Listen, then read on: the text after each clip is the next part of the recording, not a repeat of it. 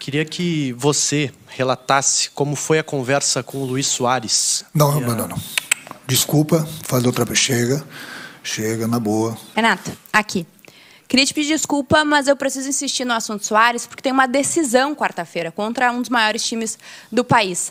Para quarta-feira, você pode contar com ele pelo joelho ou pela questão da negociação, ou de fato o, o torcedor do Grêmio não vai mais ver o Soares aqui na Arena. Desculpa, parabéns pela vitória e muito obrigada.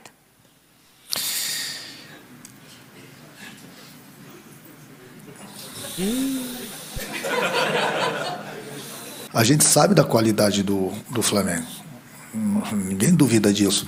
Mas. Rapaziada, está aqui o nosso próximo adversário, Renato Portaluppi Gaúcho, ex-técnico do Flamengo, tá aí fazendo coraçãozinho. Vamos ver a entrevista coletiva dele. Assista até o final, tá interessantíssima.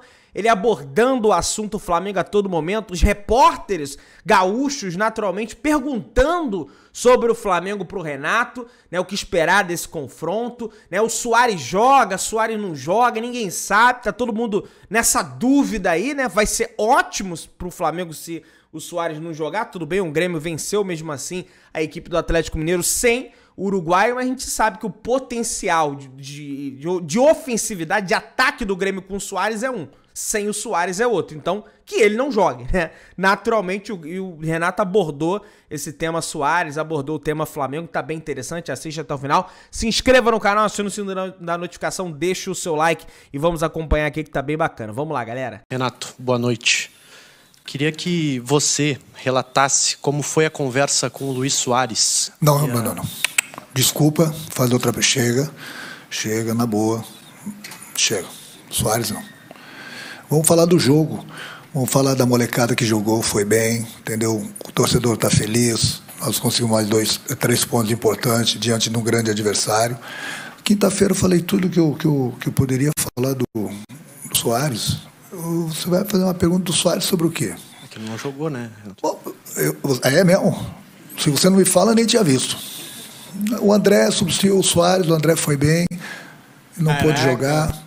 Vamos falar de quem jogou. Foi uma grande vitória contra Caraca, um que, que isso. grande adversário. Você pode fazer outra pergunta, me desculpa, os outros também. Vamos evitar assunto Soares hoje. Já falei, não vou mais tocar no assunto. Até dia 2 está entregue ao presidente e à diretoria do clube. Pode fazer a tua pergunta agora. Tudo bem, Renato. Então, sobre a partida e também sobre a projeção para o jogo contra o Flamengo. Hoje você não teve o Vilha Sante, né? A gente acabou de ouvir a sua resposta sobre o Ronald, a boa partida que ele fez, mas o Vilha Sante lhe preocupa para a partida contra o Flamengo? O que, que ele sentiu? Por que, que ele foi cortado do jogo? Ele tem treinado, ele ficou fora. Tanto é que antes da folga ele treinou normal depois do jogo do Bahia. E aí apareceu com algumas dores musculares. Hoje no, eu pedi para ele aquecer um pouquinho antes para ver se ele sentia alguma. Ele não sentiu nada, mas ele falou que tava, ele não estava com muita confiança. E, e o Ronald também vem treinando bem. E nós temos mais um jogo decisivo quarta-feira contra o Flamengo. Então seria um, um, um, muito arriscado da minha parte colocar o Vila em campo. Ele poderia jogar alguns minutos e sentir alguma dor, ter que sair, e nós iríamos perdê-lo para quarta-feira também. Eu optei justamente pelo Ronald por causa disso. O Campeonato Brasileiro é longo, Copa do Brasil aí nós temos no mínimo dois jogos ainda. Então seria arriscado colocar o Vila em campo e, e de repente perder ele por três, quatro semanas. Então pensei direitinho, conversei com ele, resolvi segurar ele e quarta-feira acredito que ele esteja em campo. Boa noite, Renato. Hoje, um jogo difícil, um jogo contra adversário duro, onde o sistema defensivo do Grêmio foi testado e correspondeu de forma positiva. E o meio de campo muitas vezes teve dificuldade de reter a bola e a velocidade para contra-golpear. O que fazer para que contra o Flamengo na quarta-feira isso não se repita? Bom, até lá a gente vai ter tempo para conversar, para treinar. É, o Vil possivelmente vai estar de volta. Vamos ver a situação do, do Soares. Eu acho que é, é mais uma decisão, né? São mais 180 minutos, 90 minutos aqui, 90 minutos no, no Maracanã. O que fazer? A gente fez bastante coisas boas hoje, como a gente vem fazendo. É lógico que sempre faltam algumas coisinhas. Muitas vezes é, a gente tem é, é, a superação, mas não tem tanta qualidade para reter a posse de bola, principalmente sem a velocidade que eu tanto falo.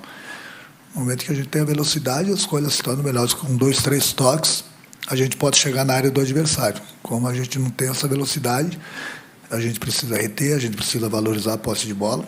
A gente tem procurado fazer isso, mas o adversário também tem suas qualidades e tem marcado bastante os nossos homens de, de qualidade no meio.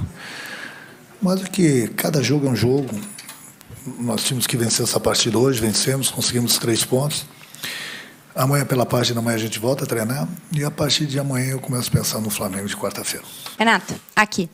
Queria te pedir desculpa, mas eu preciso insistir no assunto Soares, porque tem uma decisão quarta-feira contra um dos maiores times do país. Para quarta-feira, você pode contar com ele pelo joelho ou pela questão da negociação, ou de fato o, o torcedor do Grêmio não vai mais ver o Soares aqui na Arena. Desculpa, parabéns pela vitória e muito obrigada.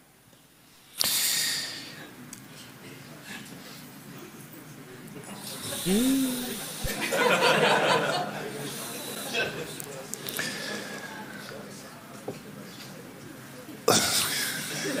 gato não comeu tua língua, né? Eu sempre falei para vocês, até porque eu falei para o teu colega que eu não ia mais falar no assunto, eu falei para o, o, o Soares, quando ele, ele quer jogar, ele, ele vem, ele fala comigo. Para quarta-feira é a mesma resposta, vai depender dele. Entendeu? Então, hoje ele não jogar? Você tem que perguntar para ele. Ele não fala. Bom, eu tenho que falar por ele? Eu tenho uma língua só, eu falo por mim. Perguntem para ele, ele não fala. Aí fica a gente aqui no meio do tiroteio, sempre o presidente, sempre a diretoria, sempre o treinador. A minha resposta é: até quarta-feira tem mais quatro dias. Depois a gente vai. Até dia 2 essa novela vai acabar. Porque a partir do dia 2, esse controle da, da novela mexicana vai vir para minha mão. E aí vai ser diferente. É só isso que posso falar para vocês. Renato, o jogo contra o Flamengo lá no Maracanã, é, acho que em maio, junho, foi uma partida que o Grêmio teve um, um, bom rendimento, mas não, não teve sorte nas finalizações e terminou goleado. Queria te perguntar como é que se traz daquela partida para o momento de hoje, essas dificuldades momentâneas que você está passando com, com Soares, muitos desfalques. O que, dá para trazer daquele jogo para projetar para quarta-feira? Obrigado. É, é, é, trazer justamente aquela, aquela vontade, é, é, é, sem medo de jogar, a confiança que eu passei para eles. Nós enfrentamos aí, com certeza, uma das três melhores equipes do futebol brasileiro, um elenco muito bom, pesado, jogadores a nível de seleção brasileira. Nós jogamos igual para igual, tivemos as melhores oportunidades, fomos infelizes nas conclusões.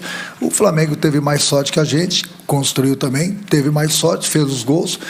E o último gol ali, praticamente, que nós fomos por tudo ou nada para frente, a bola naquele dia não queria entrar, e no contra-ataque o Flamengo fez o terceiro gol. O Flamengo sempre vai ter o nosso respeito pela qualidade do, do grupo, mas uma coisa que eu sempre falo para o meu grupo é, é para eles não terem medo de jogar.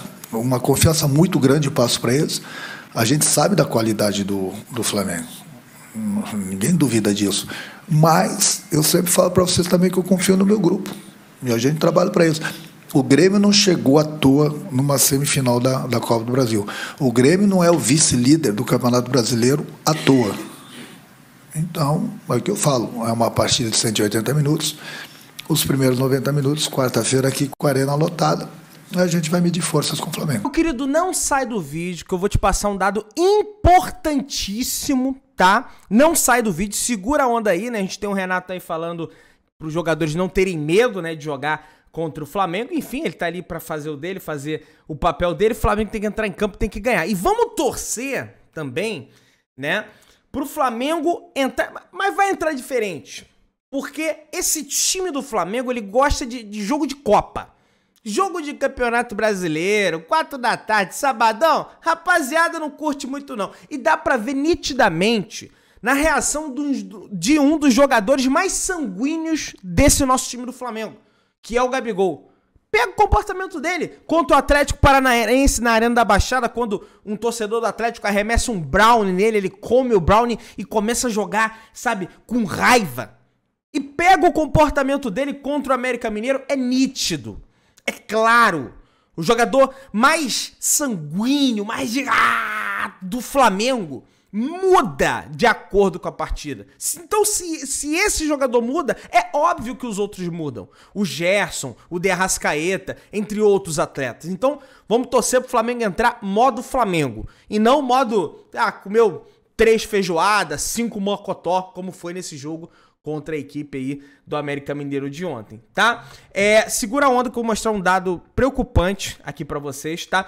Muita gente fala, Pedrão, essa defesa do Grêmio aí é muito frágil, o Flamengo vai passar por cima. Pois é, eu tô com os dados aqui do Campeonato Brasileiro, dessas rodadas que já passaram. A defesa do Flamengo é a 13 terceira melhor defesa do campeonato, ou seja, uma defesa horrorosa, né? Para estar tá em 13 terceiro, horrorosa. Com 19 gols sofridos.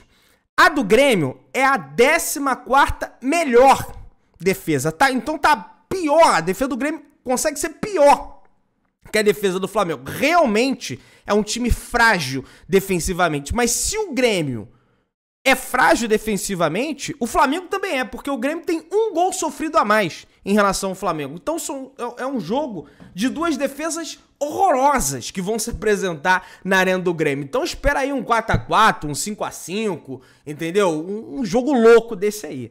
Tá? Então, 1, 2, 3, 4, 5, 6, 7 é a sétima pior defesa do campeonato do Grêmio, a do Flamengo é a oitava pior defesa. Para ficar mais claro, né? Não o melhor, porque de melhor não tem nada. Mas deixa eu mostrar um outro dado aqui para vocês.